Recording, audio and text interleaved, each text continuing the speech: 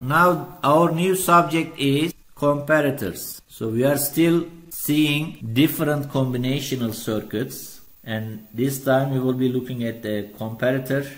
Let's say I have a signal A, a 2-bit signal A1 and A0. Another variable B, it's also 2-bit signal B1 and B0. So if I would like to compare them, so let's say I have a comparator F0 and I am comparing A and B. So this could be telling me if A is equal to B, right? So this is one comparator. Another comparator can tell me if A is bigger than B and another function can tell me if B is bigger than A or A is less than B. So these are the three functions that we need to implement in comparators. So if I ask you how do you implement these functions, the first thing you would do, you would write the truth table for these comparators, right? Here is our table. Let's look at F0. So if A1, A0 and B1, B0, all of them are 0, they are equal to each other so I will be saying 1 here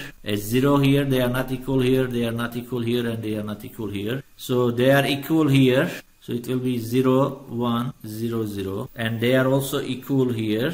So this will be 0 0 1 0 and they are equal in the last line. So they will be 1 here and it will be 0 0 0 here. So let's look at the case for a is bigger than b. So it is 0 here 0 here 0 here and 0 here. It is only in this case I have a is bigger than b a is 1 b is 0 so my output is 1 it is 0 here 0 here and 0 here. And let's look at the third part where a is 1 0 if a is 1 0 I have 1 1 here but I have 0 and 0 here. So let's look at the last part where is a is 1 1 so I have 1 here 1 here 1 here and 0 here. So now let's look at the case for a is less than b. So a is less than b we can say this is the NOT of a is equal to b or a is bigger than b. So this is the NOT of it. So I will be having a 0 here 1 1 1 here and 0 here 0 here 1 1 here I will be having 0, 0, 0 and 1 here and I will be having 0, 0, 0 and 0 here. So these are the three functions for my comparator. Now in order to find out my boolean function what I need to do I need to have a, a 4 variable Karnaugh map for my F0. Similarly I need to do another Karnaugh map for F1 and another one for F2, right? And we need to minimize these Karnaugh maps and then we can find out our functions for these comparators. So I will not be doing it this way, but instead I will be directly writing my boolean functions. Okay, so I will not be go through this Karnaugh map method. But you can try it yourself and then you can verify the results that we have found out later is the same as what you got from these Karnaugh maps. So let's see very simple example and I ask you to design a one bit comparator. So let's say I have a variable a which is one bit and I have a variable b and if I am trying to find out if a is equal to b this is simple right? So I need to use an XNOR gate right? So this XNOR gate will tell me if a is equal to b right?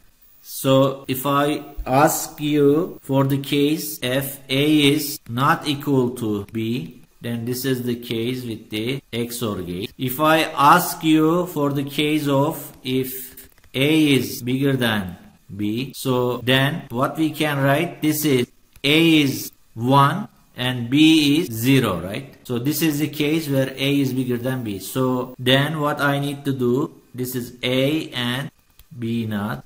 So this is my A is bigger than B. If I ask you A is less than B, so this is the case. A is 0. So I will write A naught and B. Right. So, so this will be A naught and B. So these are the functions for the 1-bit comparator. So let's look at the 2-bit comparator. Let's design a 2-bit comparator for f a is equal to b and f A is bigger than B. Let's say this is F0, this is F1, and let's do F2.